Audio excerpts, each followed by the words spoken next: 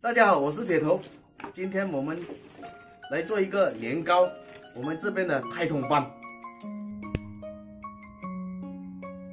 开水加上一点油，把芭蕉叶烫一下。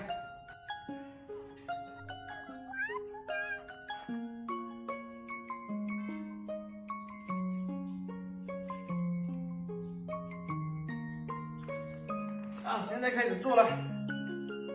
把糯米粉倒到大盆中，加入适量烧开放温的水，哎，用力把它摇啊！哎呀，打太极啊！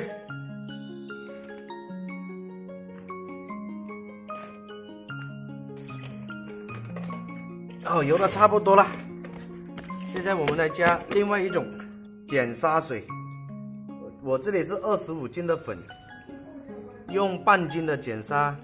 开成水来加进去，继续一直油，把它油久一点，油韧一点，这样子蒸出来才不会裂的。哎呀，腰都直了。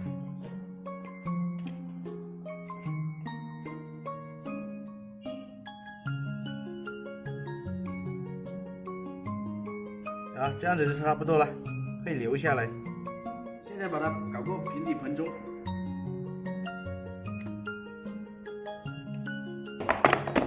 把它泡一下，那泡两下它会有出泡泡的，那些是空气。好，上锅蒸，盖上锅盖，蒸两个小时，用湿布把它围起来，防止它漏气。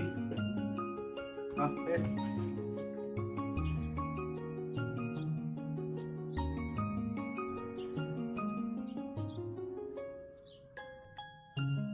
好了，时间差不多了。哇，好烫！用筷子试一下，熟不熟？